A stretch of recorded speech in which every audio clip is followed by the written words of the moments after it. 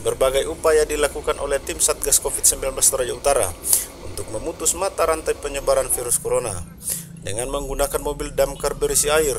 Satpol PP keliling kota Rantepo membubarkan kerumunan warga. Jika masih ditemukan warga berkerumun atau keluyuran di jam tiang telah ditentukan, Satpol PP tak tanggung-tanggung mengambil tindakan. Sopir bentor, angkot, pengendara roda 2 maupun toko yang masih beraktivitas di atas jam 4 sore langsung disiram dengan menggunakan air dari mobil damkar.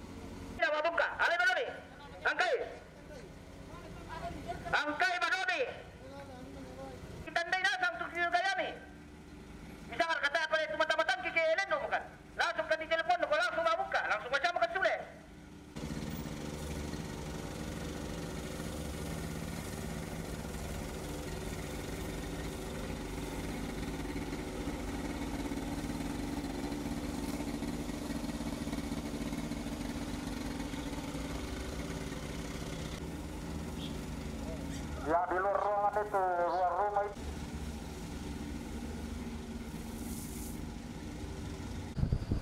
Masih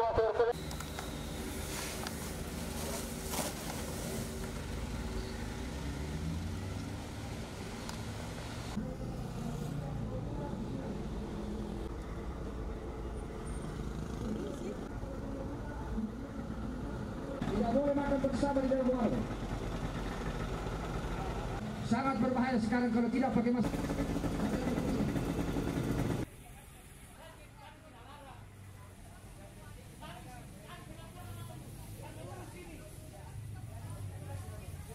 Pas patroli sudah tiga kali kami lewat, dia buka. Harusnya aturannya jam 4 tutup, ya kan? Tapi kami operasi pas jam se- segini jam berapa ini saya tidak tahu. ah, Dia buka ada orang masuk.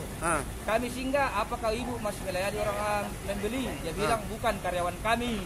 Oke, sudah kalau itu karyawan ibu, yang penting jangan layani lagi orang Ah. transaksi malam-malam. Jadi kita kasih pemahaman. Walaupun agak nadanya tinggi sedikit, ya begitulah risiko di lapangan. Ya. Dan kami juga sudah capek Pak. Sudah tiga kali, empat kali kan bola balik begini. Ah. Tapi ya sudah selesai, tidak ada masalah. Mereka memahami dan kami juga mengerti. Oke, Oke, ya, makasih Pak ya. ya. Penumpang, penumpangnya kok tidak tahu. Kalau dia sudah tertular, kok bawa-bawa. Bagaimana? Oke.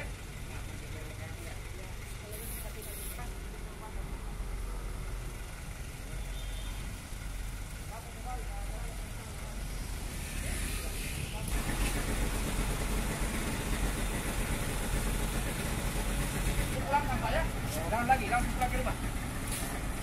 Mari Pak.